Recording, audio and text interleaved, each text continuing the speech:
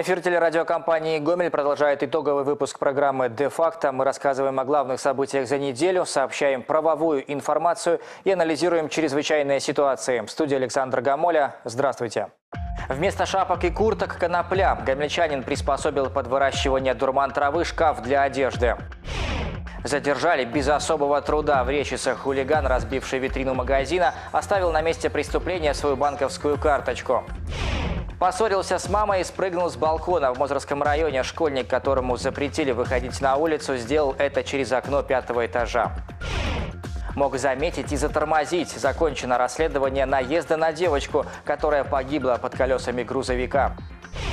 Проблема без вести пропавших. Сколько людей ежегодно объявляются в розыск на Гомельщине и каков портрет потенциального потеряшки, узнавал Алексей Немкевич а также чем опасны заработки за границей, если рубль кажется длинным, а условия выдвигаются туманными. Комментарий эксперта. И начнем наш выпуск с обзора криминальных событий и происшествий за последние семь дней. В центре внимания наших корреспондентов оказалось немало чрезвычайных ситуаций.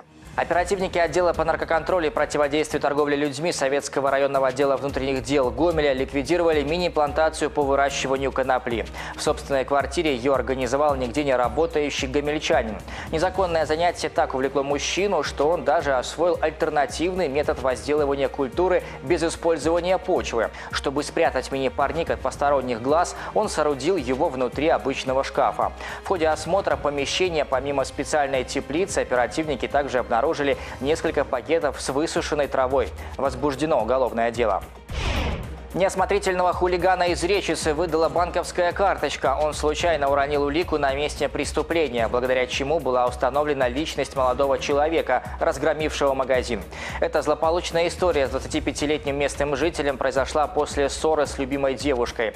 Заглушить негативные эмоции он попытался с помощью спиртного, но это не помогло.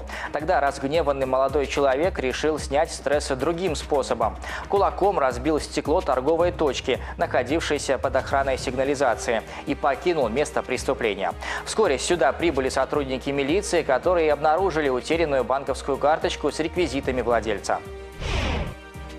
Трагедией закончились и два пожара в регионе. Так, в Мозырском районе возгорание дома и сарая произошло в деревне Акулинка. К моменту приезда спасателей строения уже догорали. На месте пепелища был найден труп хозяина. В этот же день горел и дом в Жлобинском районе в деревне Прибудок.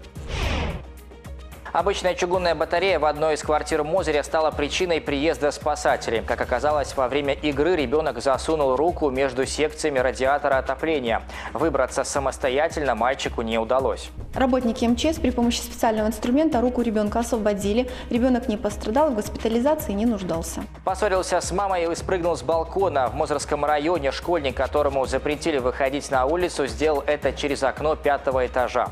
Конфликт между 15-летним подростком и его матерью матерью разгорелся в поселке Криничный. По словам правоохранителей, мальчик тайком вытащил из кошелька своего старшего брата карманные деньги, что и стало поводом для выяснения семейных отношений. После чего между ними произошел конфликт, как словесный. В результате чего мать сказала, что подросток на улицу не пойдет. Но выход из квартиры подросток все же нашел. Он спрыгнул с балкона пятого этажа. Упав в сугроб, ребенок получил травмы и был госпитализирован. Как сообщается, мальчик состоял на психиатрическом учете. Милиция проводит проверку. В агрогородке Поколюбичи Гомельского района накануне не стало одного из жителей этого населенного пункта. На пожаре в своем доме погиб 66-летний мужчина. Пенсионер проживал один. Пламя разбушевалось в его доме, когда мужчина, по всей видимости, спал. Тело погибшего обнаружили пожарные в ходе ликвидации возгорания. В ГАИ серьезно возьмутся за бесправников. Работники ДПС примут дополнительные меры по выявлению нарушителей. Только с начала года на территории Гомельской области к административной ответственности инспекторы привлекли 1055 водителей. 60 автомобилистов попались за езду без прав повторно. Материалы по этим водителям направлены в суд. Два дела уже рассмотрены. Один из нарушителей заплатит более 1200 рублей штрафа. Это максимальная сумма. Второй отправится под стражу на 8 суток. Следственным управлением по Гомельской области совершено расследование дорожно-транспортного происшествия, в котором погиб ребенок. Напомним, ДТП случилось 19 октября. 21-летний водитель грузовика МАЗ двигался по улице Телегина в направлении Советская. На пересечении улиц Телегина-Песина при повороте совершил наезд на 10-летнюю девочку, которая переходила дорогу по нерегулируемому пешеходному переходу. Ребенок от полученных травм умер на месте. Водителю предъявлено обвинение в нарушении правил дорожного движения движения, повлекшее по неосторожности смерть человека. С начала этого года на железной дороге произошло два чрезвычайных происшествия, в которых пострадали люди. Последний случай имел место буквально в минувшие выходные в Светлогорске. О том, что железная дорога – это не пешеходная зона и не место для игр, не понаслышке, знают наши корреспонденты. Субботу, 17 февраля, на одном из железнодорожных переездов райцентра тепловоз сбил 86-летнего мужчину. Светофор был исправен. Мигал красный свет и работал звуковой сигнал. С обеих сторон переезда в ожидании находились автомобили. Но трагедия все равно произошла. Установлено, что погибшим являлся местный житель 1931 года рождения, который проживал недалеко от переезда. Мужчина в тот день возвращался из магазина к себе домой. В момент происшествия на переезде работала звуковая и световая сигнализация. Когда машинист заметил на переезде пешехода, он подавал ему звуковые сигналы. Однако у пенсионера были значительные проблемы со слухом, и, возможно, это способствовало совершению трагедии. Машинист тепловоза применил экстренное торможение, однако предотвратить наезд на пешехода не удалось. Мужчина скончался на месте происшествия. Магазин находится за переездом всего в километре от дома пенсионера. На протяжении многих лет, несколько раз в неделю, мужчина ходил за покупками и прекрасно знал, что по этой ветке довольно часто ходят железнодорожные составы. Но в тот роковой день мужчина не проявил должной внимательности. К тому же в силу почтенного возраста у пенсионера имелись еще и проблемы со слухом. Пожилой человек долгое время пользовался слуховым аппаратом, но на момент трагедии с собой его у мужчины не было. В течение подобных обстоятельств, когда люди пересекают пути в своих мыслях, мыслях, слушают музыку в наушниках, либо имеют какие-то проблемы со здоровьем, часто и приводят к трагическим последствиям. Сотрудниками Гомельского отдела внутренних дел на транспорте совместно с представителями Гомельского отделения Белорусской железной дороги, добровольными дружинниками э, еженедельно проводится на территории обслуживания железнодорожного вокзала, а также прилегающей территории э, различный ряд комплексно-профилактических мероприятий, направленных на укрепление э, непроизводственного травматизма на объектах железнодорожного транспорта. Но, к сожалению, за 2017 год допущены 16 фактов непроизводственного травматизма, 8, к сожалению, из них с летальным исходом. В связи с этим хотим обратиться к гражданам Будьте бдительны и внимательны на объекты железнодорожного транспорта, а также прилегающей территории. И хотим напомнить, что за э, нахождение э, на железнодорожных путях, либо проход в неустановленном месте э, через железнодорожные пути влечет наложение штрафа от 0,2 до 2 базовой величины, что предусмотрено статьей 18.3 частью 5 Кодекса Республики Беларусь об административных правонарушениях. За подобные правонарушения в 2017 году к административной ответственности было привлечено 803 гражданина. В этом году 30 36 человек понесли наказание за то, что не соблюдали правила нахождения на путях. Несмотря на то, что ЧП на железной дороге происходят в десятки, а то и в сотни раз реже, чем на автотрассах, меры воздействия на правонарушителей не менее жесткие. Судебно-медицинские экспертизы, связанные с железнодорожным травматизмом, встречаются достаточно редко. В нашей практике это буквально один-два случая в квартал. Если пострадавший остается в живых, то как правило, проходит длительный курс лечения и все равно остается инвалидом. По-видимому, такой незавидный остаток жизни уготовил себе 23-летний нигде не работающий житель Рогачевского района, который 13 февраля шел вдоль железнодорожного полотна. Инцидент произошел на 24-м километре перегона Жлобин-Северный Лукское. Машинист поезда Киев-Санкт-Петербург увидел фигуру человека и подал сигнал, чтобы тот успел отойти на безопасное расстояние. Однако пешеход не отреагировал и был сбит локомотивом. У парня диагностированы открытая черепно-мозговая травма, переломы бедра и плеча. Его состояние реаниматологи называют тяжелым. Ранее парень состоял на учете у нарколога. Был ли он пьян на момент ЧП, ответит экспертиза. Казалось бы, как можно не заметить поезд? Все, кто слышит о наездах на железной дороге, всегда задаются этим вопросом. Но парадокс заключается в том, что ответить на него не могут даже сами пострадавшие. В сентябре прошлого года всю страну облетела шокирующая новость о ДТП на железнодорожном переезде в Ивановском районе Брестской области, в результате которого водитель автомобиля и три пассажира, дети 2000, 2014 и 2015 годов рождения, скончались на месте происшествия. Еще двое несовершеннолетних 2001 и 2013 годов рождения получили телесные повреждения, с которыми были доставлены в больницы Бреста, где впоследствии также скончались. Следователи пришли к выводу, что причиной ДТП и наступивших в результате него последствий явились действия водителя микроавтобуса, нарушившего требования сразу нескольких пунктов правил дорожного движения. С учетом того, что водитель Мерседеса погиб, предварительное расследование в отношении него было прекращено.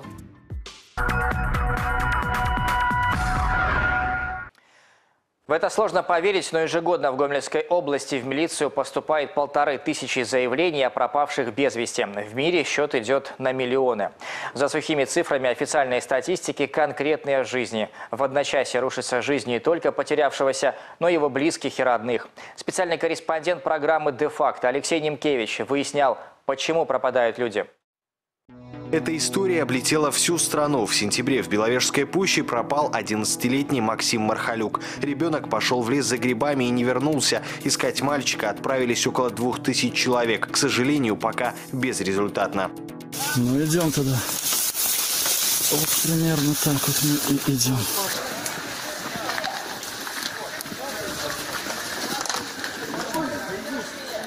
Проблема поиска грибников и тех, кто ушел за ягодами, остается актуальной уже не первый год. В нашем регионе есть даже собственные бермудские треугольники. Именно там больше всего случаев пропаж.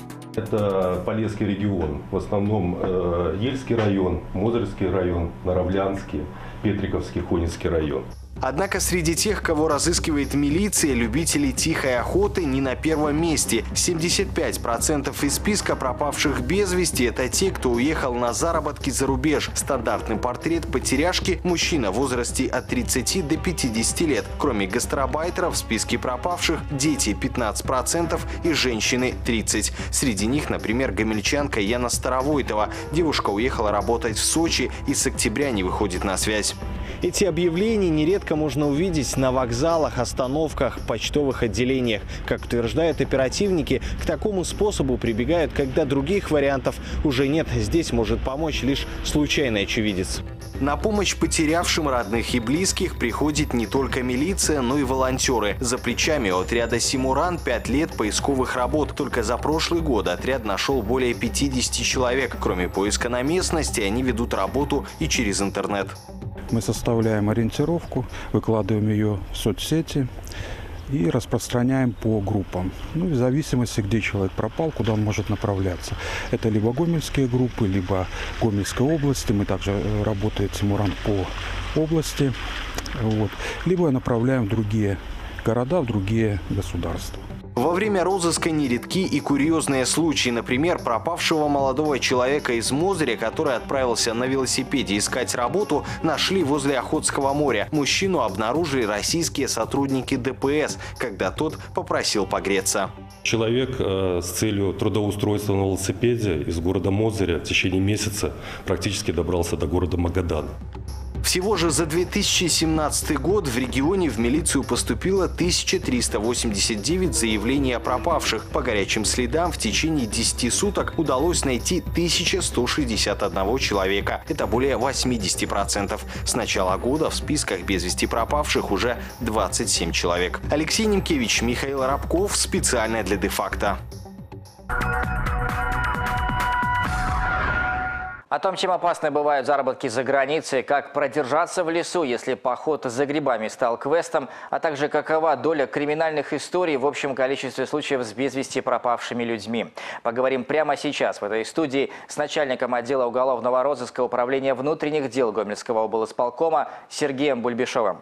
Сергей Михайлович, здравствуйте. Здравствуйте. Давайте для начала разберемся вот на долю тех, кто уезжает в Россию на заработки. Приходится самый большой процент без вести пропавших. Почему так происходит и в какие ситуации попадают люди?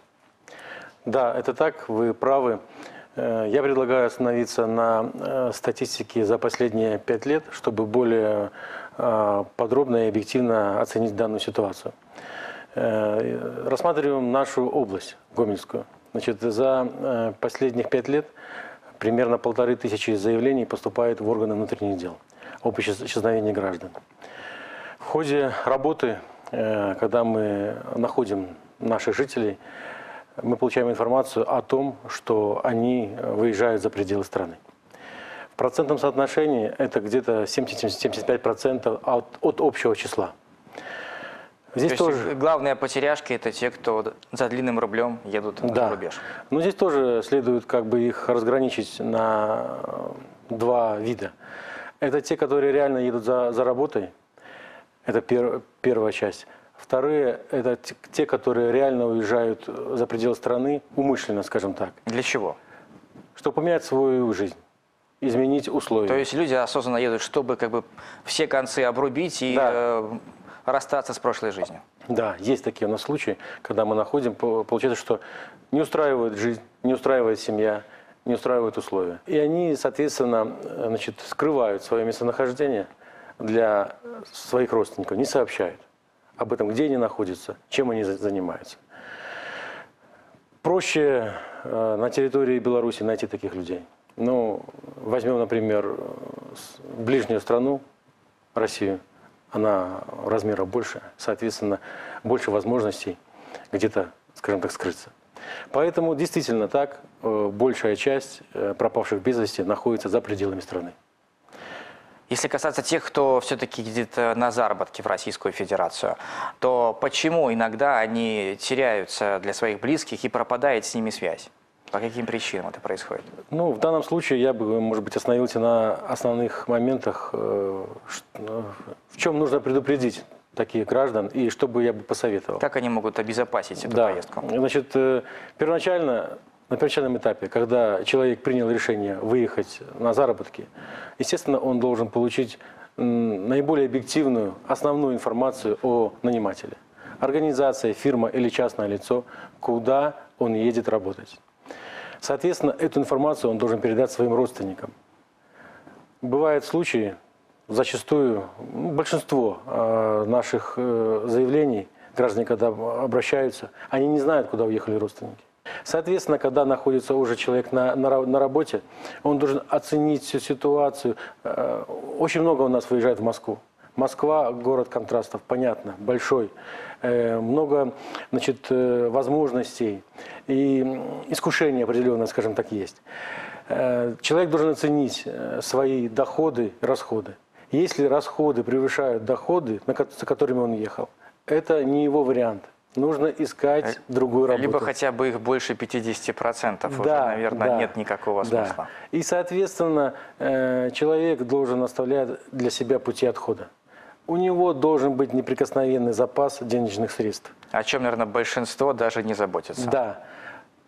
Едва деньги, на дорогу деньги на билет, деньги на телефон плане э, оплатить услуги телефона, чтобы сообщить родственникам. Вот эти минимальные, скажем так, э, значит, моменты должен соблюдать каждый гражданин. Ну и элементарное внимание и забота о близких, которые находятся на территории Беларуси себя поставить на место э, отца, матери. Если не получаешь информацию более недели, более двух, соответственно, человек элементарно будет обращаться в правоохранительные органы. По каким критериям можно оценить платежеспособность нанимателя? Скорее всего, это реально будет оценка производиться по месту работы когда э, человек реально получит заработную плату. И если ему э, значит, говорят о том, что это аванс или э, ожидаем месяц, два, три, понятно, что здесь какая-то схема не в полной мере законная. Поэтому человек должен понимать, что здесь вопрос серьезный.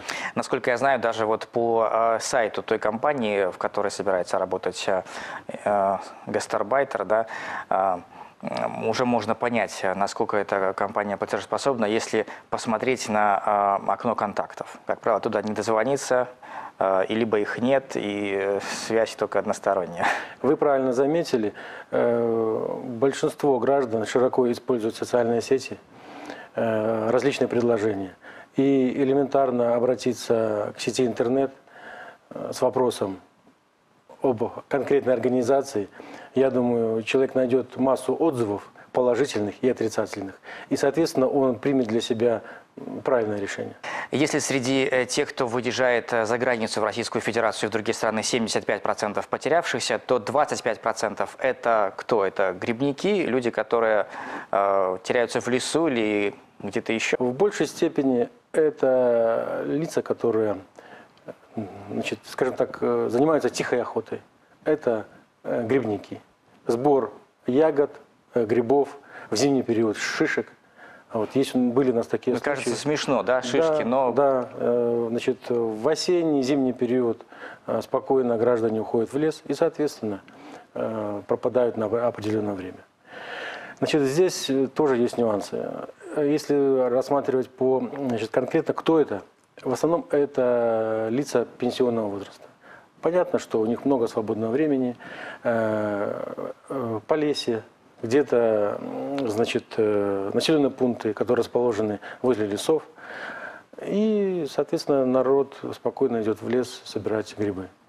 Азарт, хороший улов, скажем так, заводит их вглубь леса. Соответственно, возникают трудности в ориентации. Человек в первую очередь должен думать о своей безопасности. Если он находится в лесу, если он его не знает, Соответственно, э, значит, его действия, движения должны быть э, э, приближенными к населенному пункту, к дороге, проселочной там, или лесной. Соответственно, средства связи. Если человек берет с собой, он должен брать с собой средства связи. Перед тем, как идти в лес, он должен убедиться, что батарея заряжена на 100%. Тоже на практике, когда мы проводили поисковые мероприятия, человек выходит на связь, говорит, я жив, я нахожусь в лесу, но понятно где. Но это в любом случае... И не может описать, где он находится. Да, но в любом случае мы понимаем, что человек жив, вот, угу. что все с ним нормально. Мы даем ему определенные советы, как себя вести, и, соответственно, мы его находим. Это очень важный момент. Дети ведь тоже часто теряются, и этот пример и в Брестской области до сих пор в розыске находится ребенок. А как Гомельская область выглядит, выглядит в рамках этого вопроса? Да, несовершеннолетние у нас тоже уходят. Процент, э, он небольшой, 10-15 примерно за, за год. Это конфликты в семье, и дети просто уходят и... Эта проблема в большей степени касается неблагополучных семей. Это тоже из материалов э, работы, общения с родственниками, родителями, детьми. Какие ошибки в, допускают родители? В большей родители? степени это подростки вот, от 12 до 17 лет. Вопрос важный, и в большей степени это выходят дети из семей, где нет элементарной заботы и внимания. Есть и другая сторона, наоборот, хотят э, попробовать взрослую жизнь. Самостоятельность необходима. Э, устали от контроля. Вот, например, последний случай, вот буквально в этом месяце э, в Рогачеве два несовершеннолетних мальчика, 12 лет, ушли из дома. Вечером легли спать, но покинули адрес проживания. Они были обнаружены на следующие сутки значит, э, на остановке общественного транспорта, а, где-то примерно 15-20 километров от города. Причем ребенок и они двигались, под дождем Да, и они двигались э, по Могилевскому направлению, неважно куда. Э, в беседе пояснили – к нам плохо относятся. Мы предоставлены сами себе, и, соответственно, мы хотим внимания. Уважаемые родители, следите за своими детьми и не забывайте вникать в их проблемы и какие-то сложности. А, Сергей Михайлович, ну а каков процент криминальных историй э, в рамках вопроса о без вести пропавших? Процент небольшой. Значит, если взять э, за последние годы такие факты у нас были установлены, раскрыты э, преступления. Значит, в 2015 году было около пяти таких фактов, э, в 2016 один, в 2017 таких фактов не было. Поэтому это не серьезные масштабы, единичные случаи, но мы понимаем, это очень важно, потому что это жизнь человека конкретного. Вообще, по без пропавшим, по, конкретно по, при поступлении заявления мы сразу его рассматриваем как э, криминальной направленности. И сразу же принимаются все необходимые меры по э, установлению местонахождения конкретного лица. Сергей Михайлович, большое вам спасибо за конструктивный и важный разговор. Ну а телезрителям напомню, что в студии программы «Де-факто» мы обсуждали все, что касается темы без вести пропавших людей вместе с начальником отдела уголовного розыска управления внутренних дел Гомельского облсполкома Сергеем Бульбишовым. И в завершении программы вашему вниманию подборка происшествий, снятых видеорегистраторами и камерами мобильных телефонов. Авторы выпуска подготовили шокирующие и наиболее зрелищные кадры, оказавшиеся на этой неделе в центре внимания не только интернет-аудитории, но и мировых СМИ. Рубрика «Я очевидец» далее в программе. На юге Индии рухнуло строящееся офисное здание. Происшествие сняли камеры видеонаблюдения. По словам местных жителей, дом сначала накренился, а потом перевалился на бок, словно огромный железобетонный ящик. Внутри в тот момент находилась группа рабочих. Сообщается, что погибли как минимум три человека. Еще семеро оказались в больнице. Потенциальное ДТП на трассе М-13 Брянск-Гомель попало на видеорегистратор автомобилиста. Выехавший на встречку для обгона водитель легкового автомобиля не рассчитал своих сил и чуть не создал лобовую аварию. Спасло только мастерство водителя. В авто находились двое детей и двое взрослых. Пензе инвалид на коляске попадает в квартиру через балкон. Как сообщается, соорудили приспособление родственники. Говорят, не было другого выбора. Пятиэтажка старая, лифт в ней не предусмотрен. Мужчина пользуется этим ноу-хау уже несколько лет. Трос он регулярно проверяет на прочность. Девушка с тигром прогулялась по улицам Владивостока. На кадрах видно, что героиня ролика ведет хищника на поводке и активно позирует на камеру. При этом зверь без намордника, но, к счастью, для всех ведет себя спокойно. И, тем не менее, героиня видео опасается натягивать поводок, а скорее сама идет за тигром. Была ли это прогулка с домашним питомцем или, например, фотосессия, неизвестно. В Санкт-Петербурге оператор уборочной техники потушил загоревшийся автомобиль снегом. Действо удалось запечатлеть на видео. Оказалось, такой способ тушения пожара отличается не только своей оригинальностью, но и результативностью. По словам очевидцев, трактористу удалось сбить пламя снегом и потушить пожар. Когда на место ЧП приехали экстренные службы, мужчина снова пришел на помощь. Зацепив ковшом легковушку, он вытащил из сугроба застрявший автомобиль. А в Великобритании рабочие сыграли в крестики-нолики на экскаваторах, чем вызвали овации очевидцев. Сообщается, что во время перерыва операторы дорожной техники просто решили поразвлечься. Расчертили поле с помощью гидравлических молотов. Ну а затем начали рисовать в квадратах символы. В общем, все по стандартным правилам, с поправкой на масштаб. Пассажирский автобус с людьми перевернулся на дороге в Казахстане. Как видно на этих кадрах, водитель не справился с управлением на повороте в условиях гололеда. Машина выскочила в кювет и завалилась на бок. В салоне были пассажиры. К счастью, серьезных травм никто из них не получил, хотя троим потребовалась медицинская помощь. В Египте полицейские поймали упавшего с балкона ребенка. Стражи правопорядка услышали плач и увидели свисающего с перил малыша. Двое мужчин в форме попытались натянуть ковер, но у мальчика уже не было сил держаться. Полицейский сориентировался и поймал ребенка, тем самым сохранив ему жизнь. Чудесное спасение запечатлела камера наружного видеонаблюдения. Такими событиями запомнилась уходящая неделя нашим корреспондентам. Смотрите де-факто и будьте в курсе уголовных дел и происшествий Гомельской области. Я, Александр Гамоля, благодарю за внимание. Увидимся в это же время, ровно через неделю.